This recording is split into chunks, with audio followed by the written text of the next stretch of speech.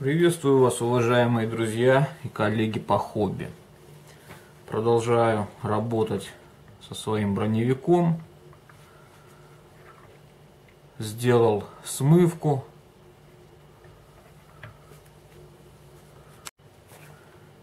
Смывку использовал от АК Интерактив темную, чтобы хорошо выделялась на модели.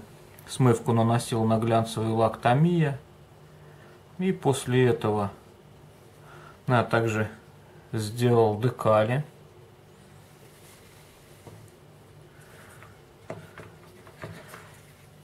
И сейчас задул полуматовым лаком. Полуматовый лак тоже фирмы Tamiya. Но я думаю, при ярком освещении не сильно видно, что лак полуматовый, потому что бликует. Также сделал смывку на шансы, на инвентаре.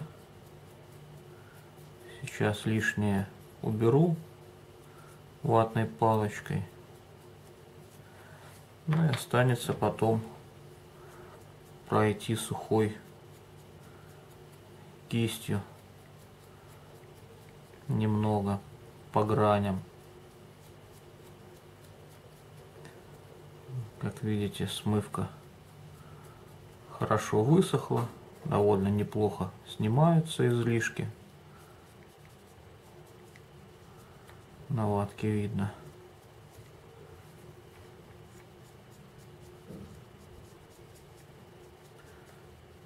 Так как это будет висеть на броне снизу немножко припылим. И будем продолжать делать модель дальше. Сейчас разберусь с этим инвентарем со скарбом.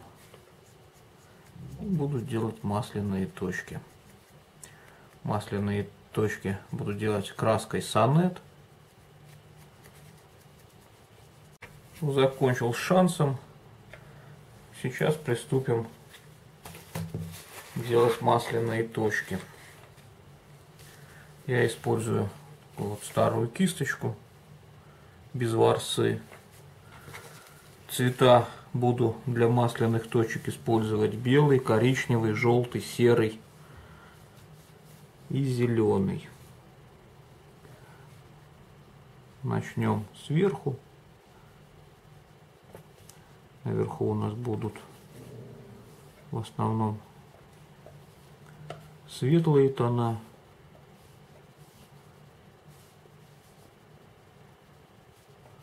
Сильно не будем много делать точек. Модель небольшая. Главное не переусердствовать.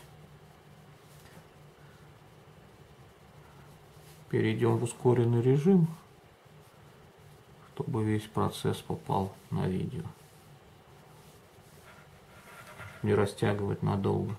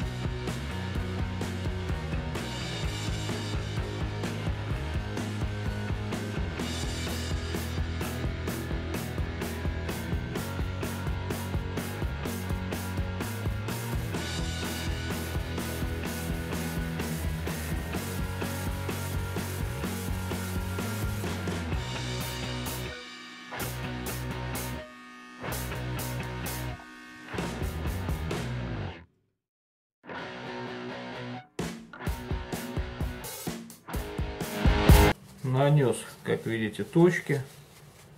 Точки наносил хаотично. А теперь при помощи White будем растушевывать точки по модели.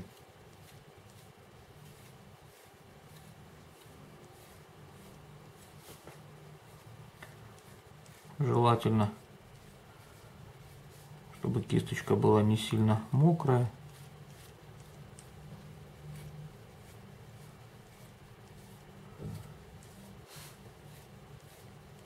На боковых поверхностях я сверху вниз.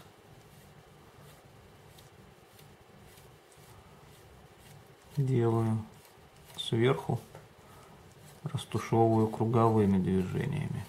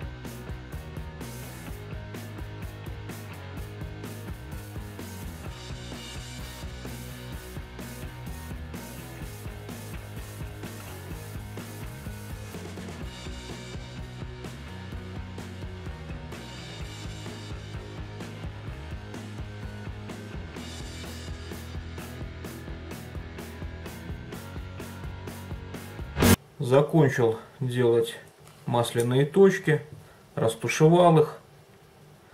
Теперь дадим модели хорошенько высохнуть и после высыхания задую модель матовым лаком. Уже на матовый лак буду наносить пигменты и все различные эффекты. Хотя после масляных точек должна тоже остаться имитация потеков дождя и небольшой пыли.